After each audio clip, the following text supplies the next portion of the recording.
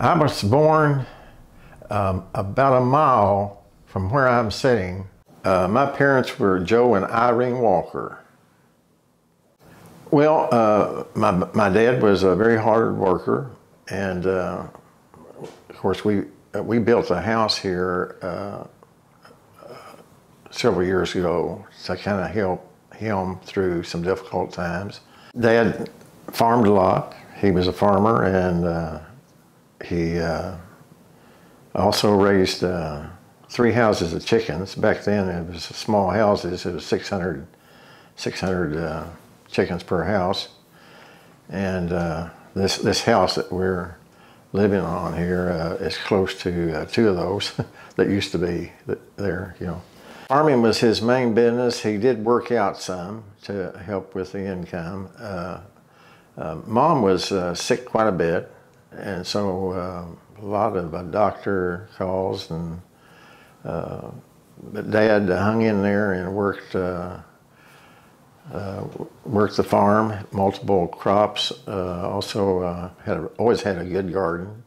The thing that Dad was very good about was handling Mom's illness, which was kind of out of reach, reach of uh, most of us, but uh, Dad was able to uh, handle it very well and, and, keep up the work and that's something I'll always cherish and remember about him.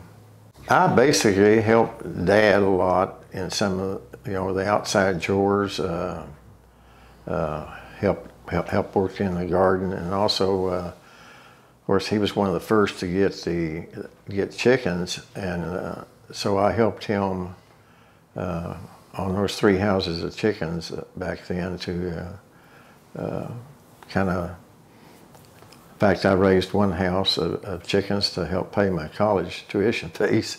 So it was uh, it was good. It was hard work, but it was always rewarding work. You know, to be on the farm and do those things. One summer, uh, in fact, it was two summers. I worked up at Steele Canning Company in Springdale to help uh, generate some additional income, and and then. Uh, uh, that that matriculated uh, into some income that was you know helped me you know in, in college as well. So, well, it, working at Steele Canning Company was hard work. a lot of stacking of uh, goods and uh, line work and but it, it was interesting work and we I worked with several you know good workers that all of us worked together. So, well, that was that was one thing, uh, and uh, of uh, helping in, in, at the house and in, in, some of the chores was, mom was an excellent cook, and uh, despite some of her illness, she was able to always. Uh, uh, maintain an early breakfast. Dad, Dad always liked an early breakfast working on the farm, and so that that's one thing that uh, she handled very well. And uh, sometimes, uh, if she was in the hospital, then it was up to Dad and I, and I'd step in and help Dad with uh, any meals and some of the cooking. So it, back then, that was an interesting uh, uh, capacity to be, be able to fulfill that. You know, especially with Dad being, you know working on as hard as he did on the farm. I was the only child. I was, didn't have any any support there, you know, as siblings. But my earliest memories of Tontitown was right here uh, on the north side of the highway. Here was a grape vineyard. John Zarden uh, lived there many years and directly to the east of where we're at right now, Dick Fiore had a great vineyard. In fact, he had a great one grape vineyard directly to the east, just past the fence line, and then directly to the south, just past the fence line, was another great vineyard. And as as years went by, there was another, great vineyard directly west of us that uh, Neha Masani had, and uh, So I was sort of uh, brought up dead center of the grape industry. And uh, Dick Fiore to the east of us was a neighbor that, uh, that was very well liked. And my dad and him exchanged work a lot to uh, just uh, be able to do the things they needed to accomplish. And of course, working the grapes was a major thing then. And so I felt very privileged to uh, have grown, grown up this close to the grape, the grape industry, and uh, and those that, that uh, was really neighbors in, in, in doing that. Well, there's a, a, lot of preparation, and you know, uh, the, the, pruning was one of the primary things uh, to uh, accomplish, uh, both in the after the season, before just before fall, and then in the early spring. Uh, a lot of caretaking. We have ground uh, plowing and, and, trimming and getting the, the vineyard ready for the for the harvest when it you know come come up in August. You know, labor uh, trading, uh, it was just more of a, a co-op. Uh, if uh, the neighbor needed something done, it was a, uh, courtesy that step in and help the neighbor, uh, whatever it was, and, and that would reciprocate if, if needed something done, and the it was uh, just just an exchange of uh, of work that helped move move everything along without uh, any additional cash, you know, outlay. It was essentially informal. It was just done when needed, you know, uh, to help the the neighbor uh, accomplish what was needed to to to get it done, and uh, I think that's what being a good neighbor was all about back then. Welch's was in, in, importing to uh, the, the, grape industry here in the area because uh, the Welch's had a plant, excuse me, had a plant in Springdale, and so uh, a lot of folks marketed their grapes directly to Welch's for grape juice and, and various products that, that Welch's uh, done. Uh, most of them were contracted, and Welch just went through a period of time, and, and no need to go into detail on, on their difficulty, but they uh, really dropped the prices of the grapes, and it just almost impossible for the the uh, folks to those that was raising grapes to uh, make any kind of a profit and come out on it. So a lot of the poultry industry was just starting to take hold on about then, and they uh, decided to start building bro- bro- broiler, houses, excuse me. And so grape vineyards started going out, and um, and that coupled with time, a lot of grape. That's why we have not have very many grape vineyards at all now. Is because of that. Uh, the, the poultry industry kind of taken hold and, and uh, grape vineyards started uh, going out. And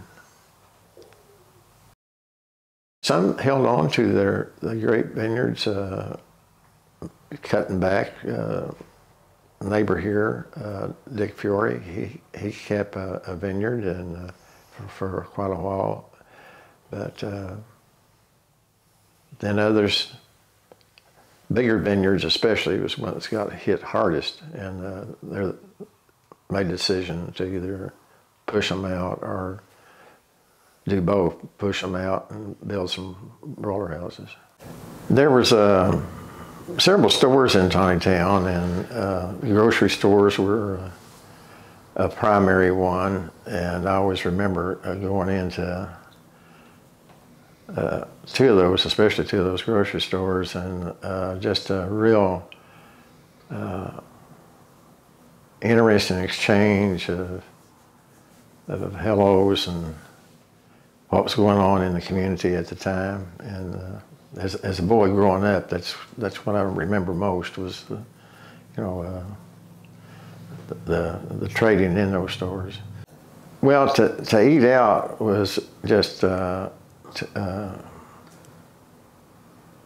a real treat because uh, we were pretty much uh, home buddies right here, you know, on the farm.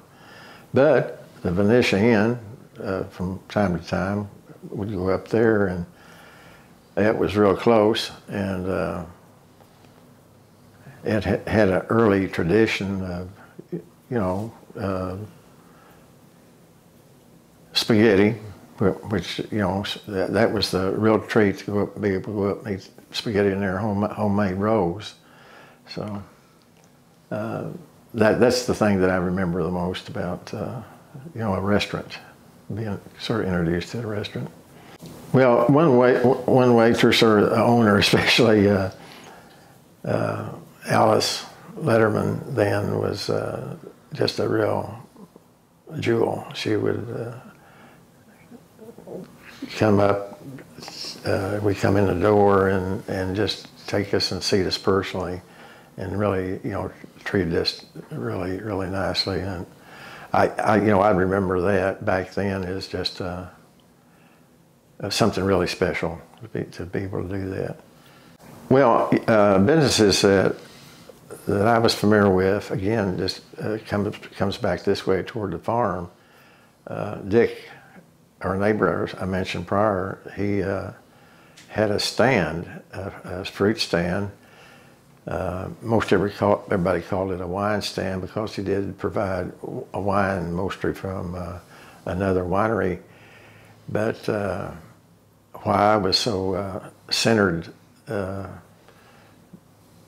with that particular business was Dick also uh, grew apples and he made apple cider and then along with the grapes made grapes grape juice so I would go down and help him. Do grape juice and cider help help uh, bottle it. Was one of my primary things I done was bot- bottling the uh, whether it be ju- grape juice or apple cider. And uh, then another another treat and growing up was uh, he had uh, three girls, uh, Helen, Mary Catherine, and Pauline, and uh, I would sit beside them uh, doing the bottling, and uh, never realized, it at the time just really how fortunate I was. I went in the Air Force in 1958 and 1962 through 1962. And after that, we settled in, in Fayetteville. And uh, of course, this came, came about after uh, uh, I was married while in the Air Force to uh, Carol. And uh, so we uh, lived in Fayetteville uh, till just about 20 years ago when we decided to build out here. Like I, I mentioned earlier, we built, built here. Uh, and so from that, from uh, during that time, um, we still came out and visited the folks quite frequently. And uh, so I, essentially, I uh, have never really left this area. Although I lived in Fayetteville that period of time, we'd come out uh, out here uh, to visit the folks and kind of keep up their, their health and how things were uh, going with them. Well, this is the interesting part, part of where I went to school. Uh, I went to school at Br- Brush Creek, which is directly uh, northwest of here, just uh, about four miles. And I went there through the first six grades, and then the system uh, consolidated, and uh, we started going to Springdale. So I went uh, to Springdale, the, the next six grade levels, and graduated in 1957 there at Springdale High. Friends and classmates uh, that I remember the most was uh, we had neighbors to the west of here, uh, the, the Lynches, and Ralph Lynch. I went to school with oftentimes walking. We'd walk together down to uh, Brush Creek to the, uh, early in the morning. And uh, then the other classmate I uh, was uh, that I remember very well in that we started uh, first grade together, and that was Carolyn Page, who lives just directly uh, west of, or excuse me, east of us here. And uh, Carol and I was the only one that went uh, from the Brush Creek that went through all 12 grades together. I went through sixth grades down at Brush Creek and then went graduated at Springdale High in 1957. Well, we always had, in way of school teachers, uh, very interesting.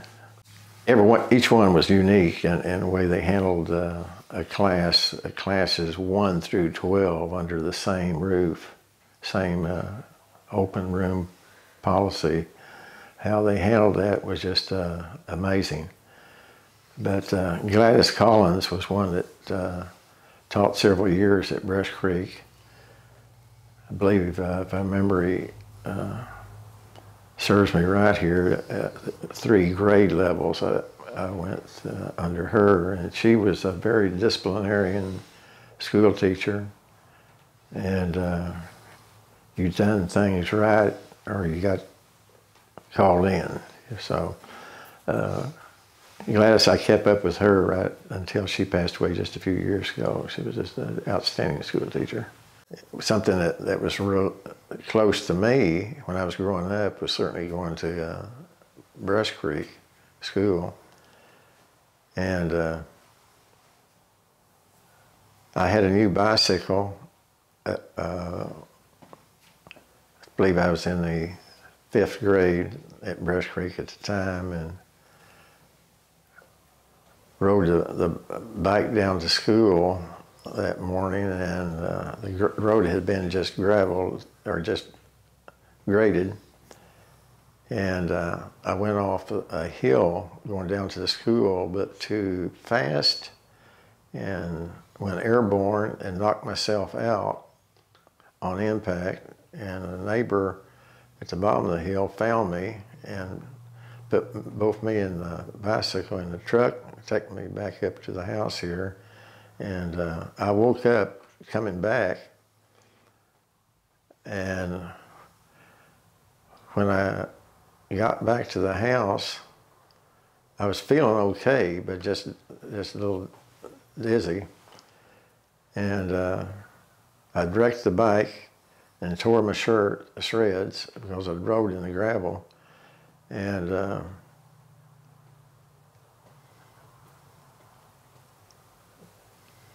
I, I thought at the time, well, I went down Garrett Hill a bit too fast.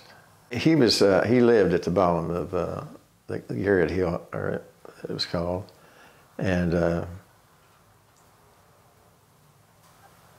I, I didn't know him real well personally. My dad knew him, and so he knew where I lived and got me back up here safely. Well, the, the most the most prominent way of uh, the Italians, uh, I, I, think I would have to, you know, our neighbor Dick and Florence Fiore was just uh, second to none. We have outstanding uh, folks to be associated with, and uh, Dick Dick was one of a kind. He could fix anything. Uh, just was a, a real gentleman, a way of uh, how he handled things, and uh, he taught me a few things just uh, just by his worth ethics and how he done things. Uh, he could uh, fix a radio. He could um, work on a apple cider barrel. He could do numerous farm chores, and uh, those are the type of people I was closest to, you know, way of knowing, knowing folks, you know, from the Italian community. Well, it, it was unique in that uh, the way we were treated was just, just like Dick Fiore there, that uh, was our neighbor, and and him and Dad exchanged, you know, work.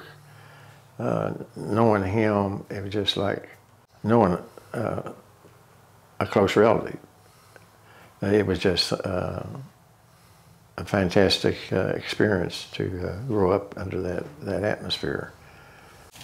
Uh, my, my grandparents, uh, John and uh, John Craig, they, they went to Harmon Methodist. And so as, as I grew up, mom was closer to, to that church and had a, a tremendous, tremendous impact on, on attending Sunday school uh, as well as uh, uh, during the summer that have Bible classes. And so I got to know a lot of folks related to the, or that was close to the, the Harmon Methodist Church. And we ended up uh, joining that church along with uh, close, two close friends of mine, uh, Jimmy Lynch and and uh, Danny McCamey. And uh, so three of us was uh, joined that, that church at the same time back then. Well, for, for fun, after the, the, the family or the work chores, uh, getting, that, getting that done, uh, bicycling was a favorite thing to do. Uh, a lot of times we would cycle and a couple friends that was close. Uh, uh, we were back then. Uh, Cowboys and Indians was a favorite pastime to uh, participate in, playing your role, whatever role that uh, you would like to uh, accept as a, a, sort of a fantasy. And so my my neighbor would was a fan of Tom Mix back then. It was a, Tom Mix was uh, both an actor and a, a, you know, just kind of a overall idol. Uh, I, I liked Hopalong Cassidy. Uh, uh, Bill Boyd was uh, his, his uh, official name, but it's something about Hopalong Cassidy, and there was two side guns that I always uh, liked the fantasy. So we'd, we'd, we'd uh, stretch out our territory, and he'd be Tom Mix, and I'd be Hopalong Cassidy, and uh, we accomplished quite a bit doing that. well, parents and neighbors are, you know, close friends. A lot of card games back then. Uh, the, folks would get together and uh, have refreshments and play cards. And that's just a, a, favorite thing they like to do. And uh, a lot of folks uh, would go to the movies and uh, we'd uh, go, uh, Springs had a movie theater and we'd go down there from time to time. And in Springdale I had two movie theaters, and so uh, my first experience uh, in Springdale and going to a movie was the first edition of Gone with the Wind, and uh, that was. Uh, I will always remember that movie, movie just the way it unfolded and uh, what went on. It was certainly, uh, as years went by, became known as one of the uh, all-time greats. But to see it in its first edition was a real treat. My aunt, uh, which lived up the road, uh, Roxy Neal, she uh, she loved the Grape Festival, and so she was kind of an influence on us to, to go up. And uh, then, of course, our neighbors, uh, the the girls I mentioned, Helen, Mary Catherine, and Pauline, all three of them run for Town Queen at one time or the other. So um, it was always uh, uh, interesting to, to see uh, the organization behind that and uh, what uh, what they'd do to make it uh, make it a good experience. And it certainly back then it wasn't the size that it is now, but to uh, see that unfold and the hard work that was put into it, even though it was smaller, was just a real, real uh, pleasure to be around. mem- memories of the Grape Festival was, of course, growing up was basically like uh, a lot of kids like to do was go to that carnival, and uh, the carnival drew the younger generation, you know, to to participate and, and enjoy. Uh, I always had live music, and uh, then various family families would uh, work it, you know, uh, whether it be uh, the bingo uh, part of it or some other attraction at the Grape Festival. it was just a real community effort, and yeah, I the grapes, you know, always got always got my attention because I'd see uh, the uh, those participating to uh, bring their grapes and, and show them there at the uh, at the grape festival was uh, fascinating to me because I was around the grapes so much here uh, from you know from the house. And Dick Fiore, he always had entries, and so you know that in, in, the Grape Fester, Festival, that was what, I, as a boy growing up, fascinated me was the carnival and the, the grapes and the music and and uh, I always heard of them having uh, dances in the uh, school basement, but uh, as a boy growing up, you know, didn't pay too much attention to that. It was the carnival and the kicking around, you know, and enjoying the festival that way was was was the fun part.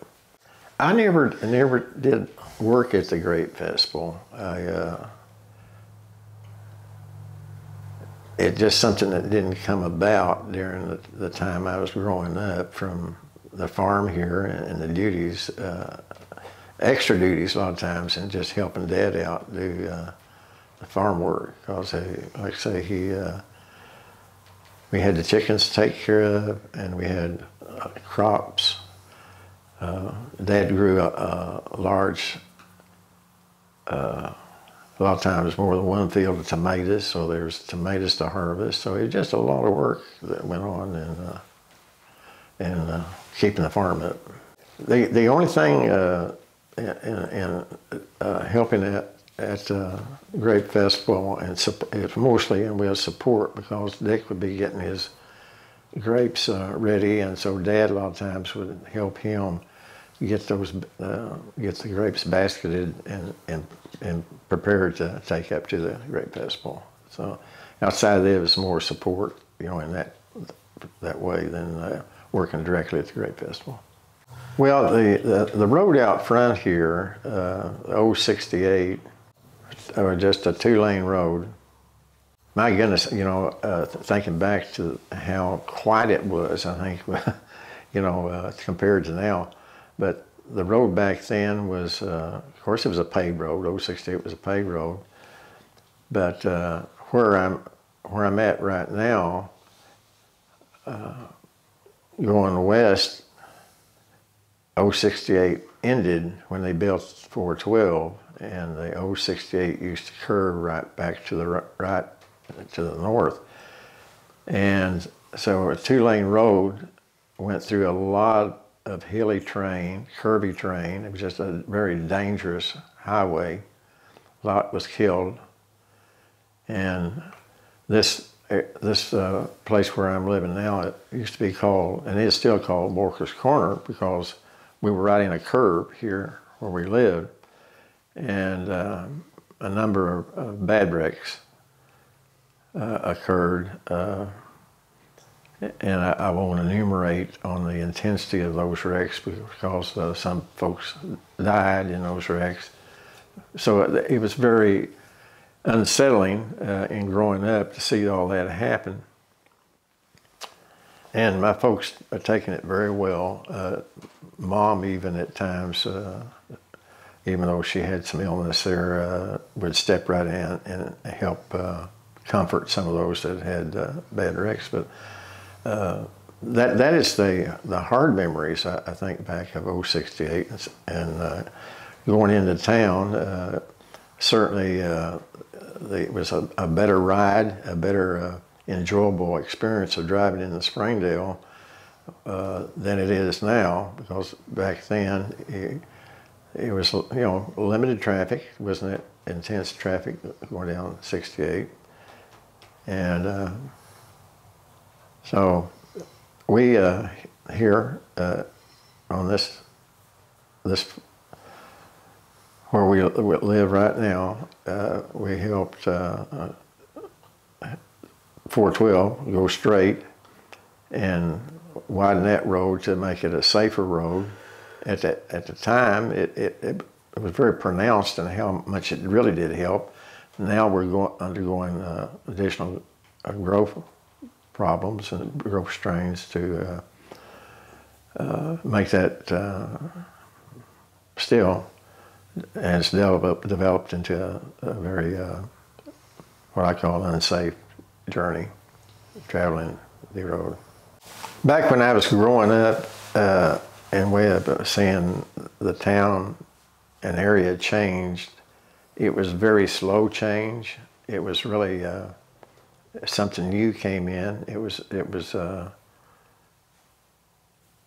a real interesting occurrence. Now we have so much you know fast growth going on. It, it's just nearly mind-boggling about the change that is going on. But back then you know, you had uh,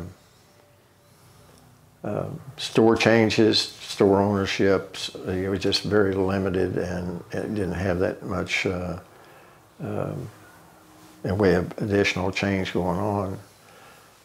Uh, that's that's what I remember, you know, the most about in, in a way of change. It just back then wasn't the pace that it is now way of the change going on.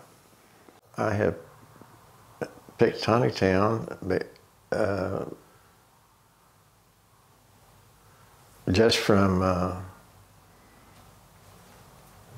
unique experience of living in an area that you enjoy. I have uh, picked Town from people I know and I feel comfortable with and growing up here and, and still still living here. Uh, picking Town has not been by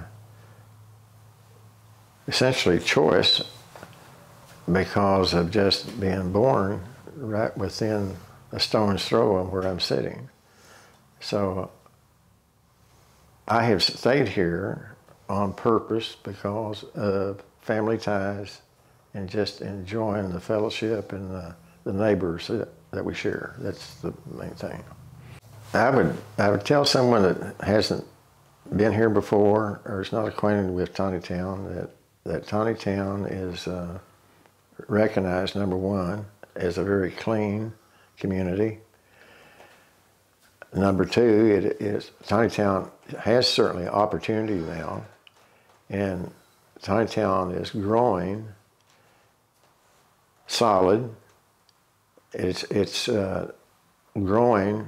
Uh, the uh, I think the uh, city fathers are, are keeping uh, the best interest of the community at hand and and trying their best to uh, withstand the, the growth that is going on. But for someone new coming, I think the and we've had those that that pass through and just love it and come back. So it's appealing because it is a, a, safe, clean community.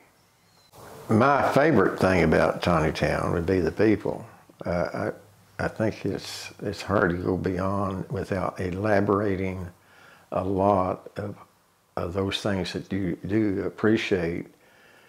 Uh, but the, the people, I think, is the, uh, the reason I stay here uh, if we didn't like the people, we cer- cer- certainly wouldn't stay.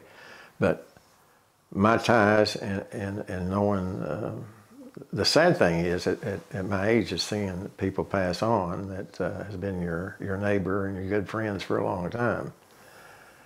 But uh, the, the folks near you that you, you've known for a long time you appreciate what they do and their involvement and their contributions they make to the community. So to me, that's that's the most important aspect of of living here is is your neighbor and the good friends that you develop over the years.